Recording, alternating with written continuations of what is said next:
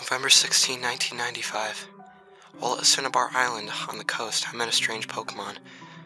It looks like blocks, but together, it made a backwards L.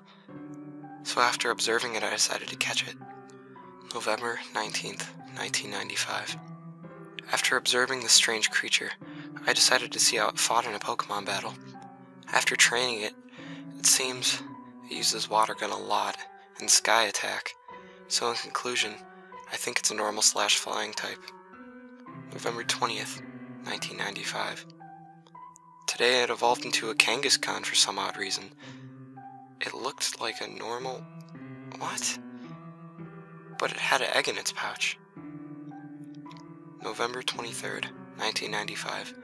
The egg hatched, but the Kangaskhan won't care for it at all. I try to feed it and play with it, but it still won't do anything. November 24th, 1995. I've decided to give the infant Pokemon to a trainer in Lavender Town. He said he would take good care of her. November 30th, 1995. After the long drive to Lavender Town, I met the young boy. He said thanks for the Kangaskhan. December 1st, 1995. The young boy called me from the Pokemon Center and said that she went missing. December 3rd, 1995. I've decided to help the boy find the young Pokemon. Who knows what trouble it's gotten into. December 9th, 1995. After a long drive, I arrived.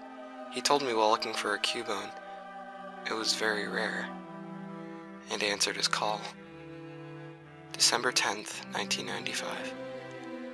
My hypothesis says that a wild Kangaskhan infant will find a skull and become a Cubone. That's what I think happened to her.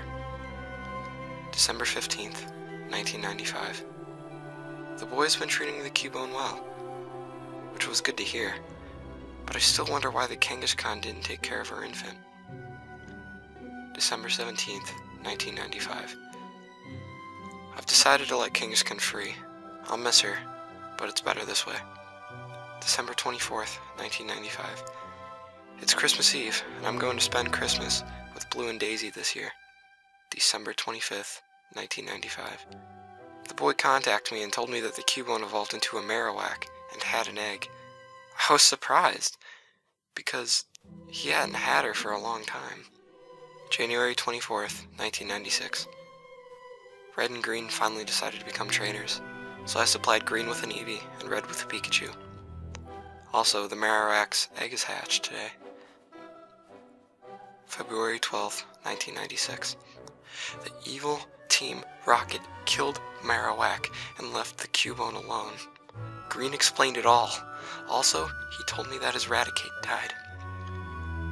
Red told me that a strange ghost has blocked the path to Mr. Fuji. February 17th, 1996. Red told me the ghost was the Marowak, the Team Rocket killed. I was shocked at this information when he told me.